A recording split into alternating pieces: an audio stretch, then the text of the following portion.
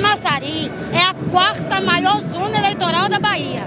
Nós somos um dos maiores PIBs baianos e onde a maioria das mulheres estão na nossa cidade. Camaçari só tem a me oferecer confiança e eu, lealdade.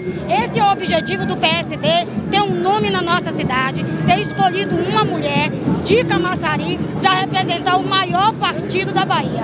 E a senhora que defende todas as mulheres, quais políticas públicas voltadas para a população feminina a senhora pretende colocar em debate durante a campanha?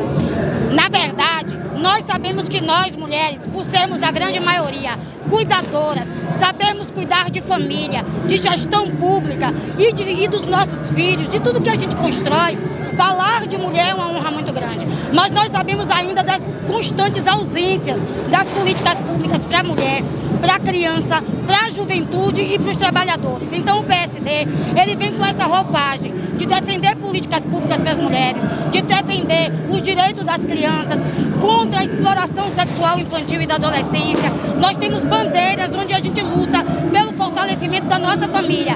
E a mulher é aquela que faz toda a diferença. E Otto Alencar é seu principal padrinho político. Ele está disparado nas pesquisas, né, ganhando em todos os cenários. De que forma também a experiência dele e esse favoritismo nas intenções de voto ajuda na sua campanha, no seu desempenho?